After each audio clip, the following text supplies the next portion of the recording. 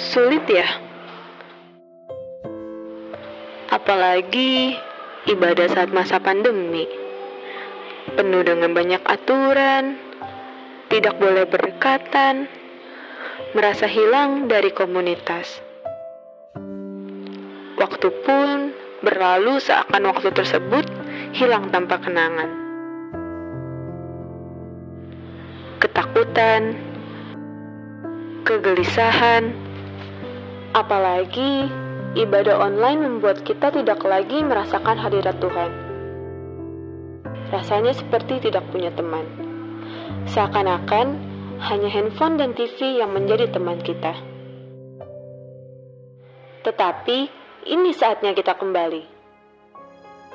Kembali untuk antusias, kembali untuk menyala-nyala, kembali untuk membangun hubungan dengan Tuhan, kembali menyembah, kembali belajar firman-Nya, dan kembali ke kaki Tuhan.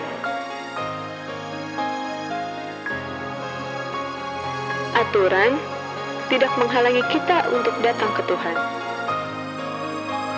Jarak dan sakit tidak menghalangi kita. Jadikan waktu yang sempat hilang itu sebagai batu loncatan bagi kita untuk terus bertumbuh. Menjadi pribadi yang berbuah.